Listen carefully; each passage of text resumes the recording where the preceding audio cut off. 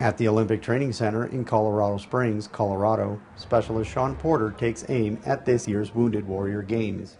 The Games give wounded and injured service members the opportunity to compete in Olympic style events.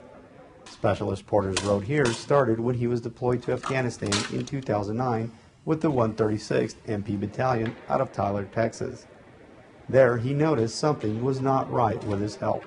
So I went to the doctor, and next thing I know, they were medevacing me to Germany uh, to have an emergency surgery done.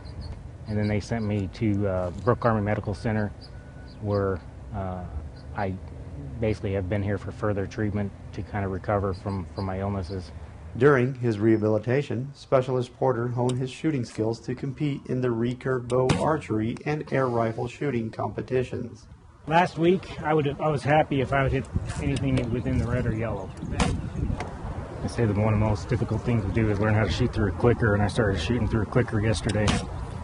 At the Warrior Games, Specialist Porter scored first place in the air rifle standing competition, bringing home the gold.